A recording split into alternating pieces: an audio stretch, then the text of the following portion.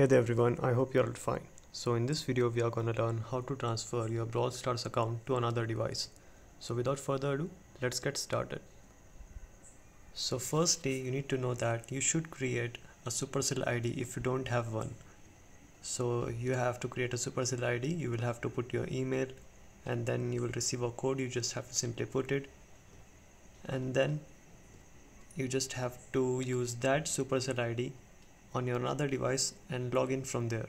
So I will show you how you can do that. So first click on this hamburger menu here and click on the Supercell ID you can also go to Supercell ID through the settings option if you can't see that there.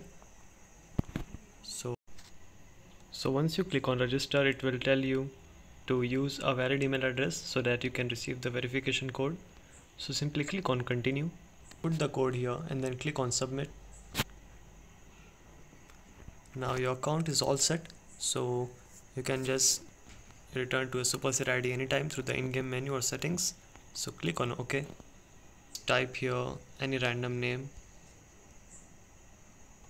Click on continue. Choose your avatar.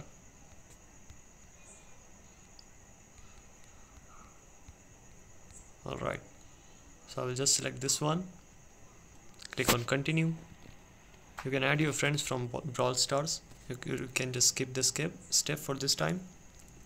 Now you have created your Supercell ID so now what you need to do is in your another device you just need to put the login information and you will be able to transfer your Brawl Stars account to another device.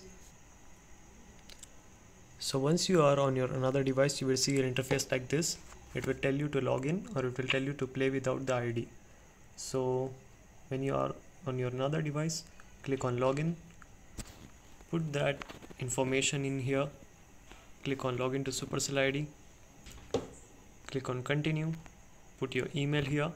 And then you will be easily able to connect your Brawl Stars account and transfer it to another device. So that's it for today guys. Hope you found the video helpful. See you soon. Have a good day